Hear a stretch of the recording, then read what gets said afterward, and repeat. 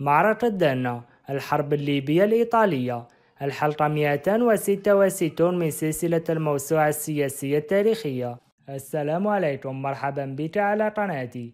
إذا كنت من المتابعين الجدد اشترك لتتوصل بكل جديد. إن شاء الله يفيدك هذا الموضوع وفي آخر الفيديو سأذكر مصدر أو مرجع المعلومات. معركة دنا الحرب الليبية الإيطالية. من المراكز الساحلية الليبية الهامة. استهدف الاحتلال الإيطالي في المرحلة الأولى من مراحل الغزو الإيطالي للقطر الليبي وقد وصل القطاع الأسطول الإيطالي أمام شواطئها يوم 30 أيلول سبتمبر 1911 ميلادي وبدأت بقصفها يوم السادس عشر تشرين الأول أكتوبر. ومن ثم قامت بعض وحدات البحرية باحتلالها بعد أن انسحبت الحامية التركية وقوات المجاهدين إلى المرتفعات الجبلية المحيطة بها. هذا وقد استمر حصار المدينة فترة طويلة.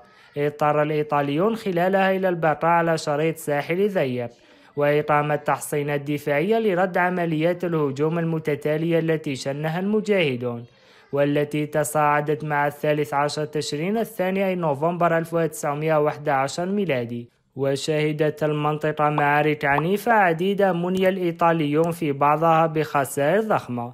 مثل معركة سيدي كريم القرباء 16 أيلول مايو 1912 ميلادي. وظل الإيطاليون يعتبرون المنطقة غير مأمونة حتى توقيع الاتفاقيات مع الحكومة الإيطالية.